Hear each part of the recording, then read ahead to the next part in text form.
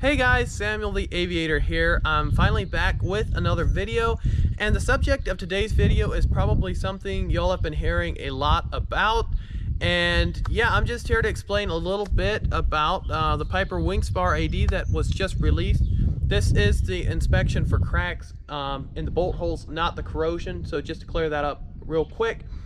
And I'm also going to be um, looking through my logbooks with you guys and show you if my plane uh, qualifies for the inspection. All right, let's get into it. All right, one quick thing I wanted to mention before I get started is uh, my microphone that I often use that has windsock is broken and I couldn't find my lavalier microphone. So the audio quality on this video might not be the best. It's a little bit windy. Uh, again, I'm sorry about that guys and I will have it fixed in the next video. All right, so back in 1987, I believe it was a Piper Cherokee, was a oil pipeline patrol, I think, uh, pipeline inspection, something like that. Uh, I think it was down in Texas, was flying and they had a wing separation incident uh, from their aircraft. So during inspection, the FAA found that there was in fact a crack in the wing spar, fatigue cracking, and that caused the wing spar to separate from the aircraft. Uh, they released a AD 37 days after the accident. And in that AD, what it was is in a nutshell was you basically had to pull the wings off the aircraft and inspect your wing spar. Again, I might be wrong, but I believe that was about the only way to um, comply with that AD. So it was obviously very costly to pull wings off of planes and in I believe it was six months after that that they released AD, they actually rescinded that AD. With the release of that AD, Piper released Service Bulletin 997, um, basically telling people how to remove the wings and do the inspection stuff, put the wings back on.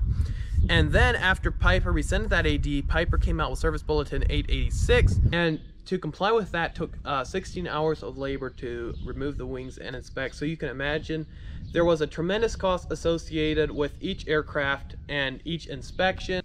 So all of this happened back in 1987. Fast forward 30 or 40 years to 2016. I'm sure everybody's heard this story. A student pilot, well not a student pilot, but a, a pilot was on his commercial check ride with a seasoned DPE, uh, airline transport pilot rated DPE I believe, and they were doing some touch and goes. They took off from the runway, climbed a few hundred feet, and the aircraft's wings separated from the aircraft, which caused them to crash. Unfortunately, both of them lost their lives. That's the crash that most of us are most familiar with, and we probably heard it over and over. FAA investigated that crash, and they found that it was metal fatigue cracking in the wing spar. The FAA then released a notice of notice of proposed rulemaking about eight months after that accident and 20,000 Piper aircrafts were affected by this AD, which is astronomical. Um, the final AD went into effect, I believe this February, if I'm not mistaken, um, and the list of aircraft that qualify are now down to about 10,000. So Piper uses just one wing spar that runs through the center and that's connected to like bulkheads and stringers and everything that's comprised to make up the wing and then the wing has obviously sheet metal over it to create the shape of the wing.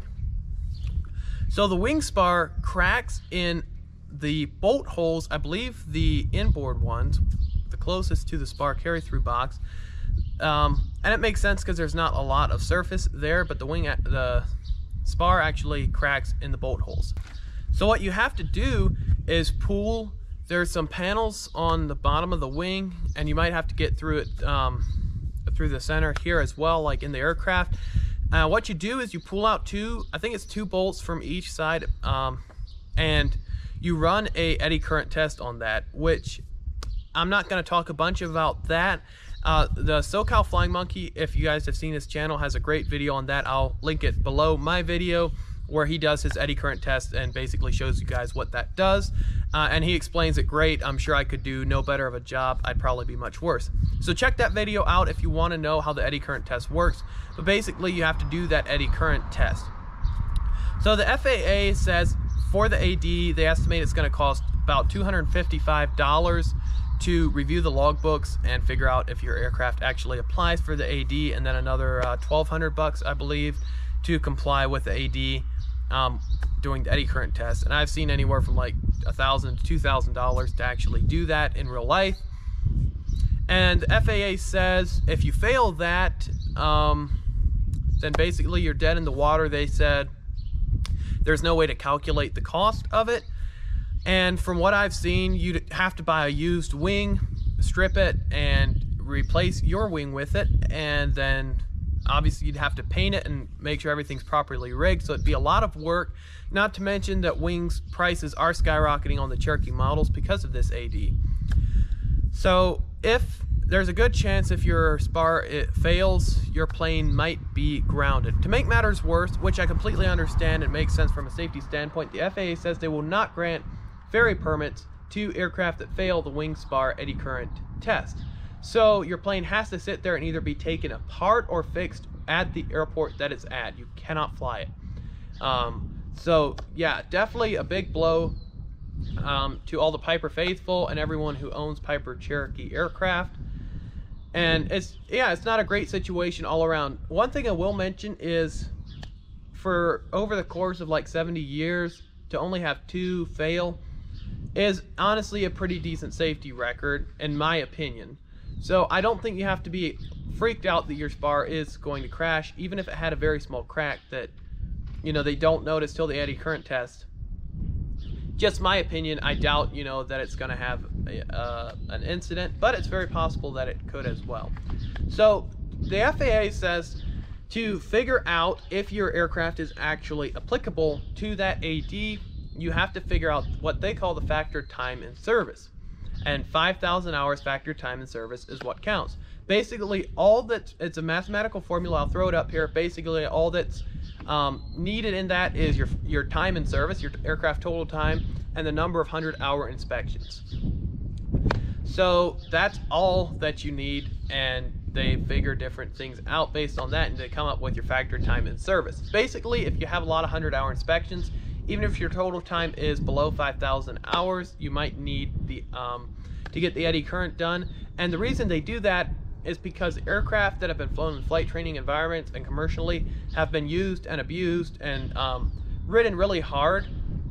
So those are most likely to have the spar cracks. So even if your plane, to my understanding, I haven't played with this too much, but if your plane has over 5,000 hours time in service, but no 100 hour inspections, you um, don't need the AD to comply with the AD. Now I'd have to uh, work that formula a little bit to see, but I believe that's how it works. All right, so I have my aircraft logbooks in front of me, and what I'm gonna do is go through the airframe logs and see how many 100 hour inspections my aircraft has had, and then I'm gonna also look at the aircraft total time, and then we're gonna do uh, the calculation real quick and figure out if we need to comply with this AD. So here's the first original Piper log. As you can see, it's pretty old, torn up. And again, my apologies, it's a little bit windy out here. But it is a very nice evening.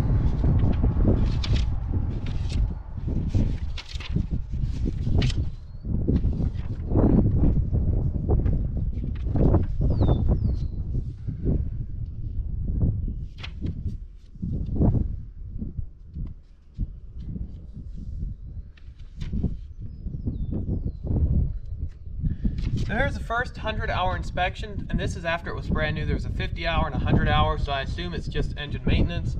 Um, but I'm gonna count it just to be on the safe side.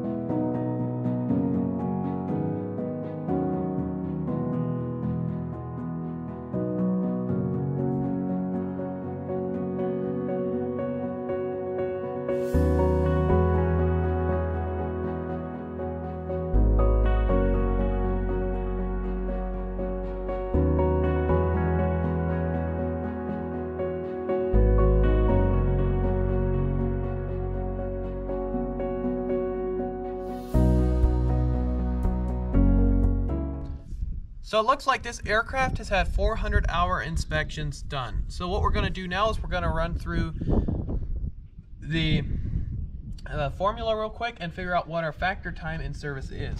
And actually one thing I forgot to look at is the total time of the aircraft. So I'm gonna glance at that real quick as well.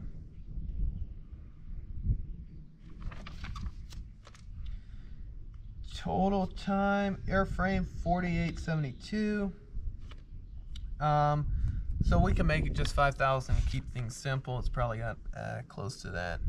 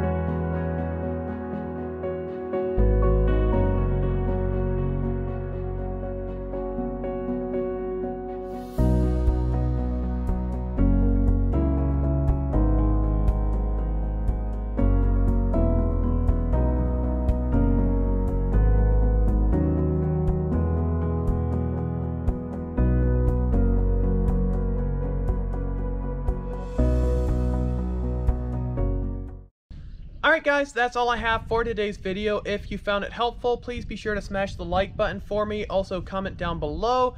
Um, let me know if your aircraft needs the Wingspar AD uh, or if you've already done it and if it passed or not. And also, if you feel like it, please let me know how much it cost. I would, yeah, I would appreciate that and I love hearing from everybody. Also, if you have not done it yet, please consider subscribing to my channel. It's the little red button below this video. Um, I love to see all my subscribers and connect with them. And if you're subscribed, you get to see all of my new videos. All right, guys, that's it. Have a good one.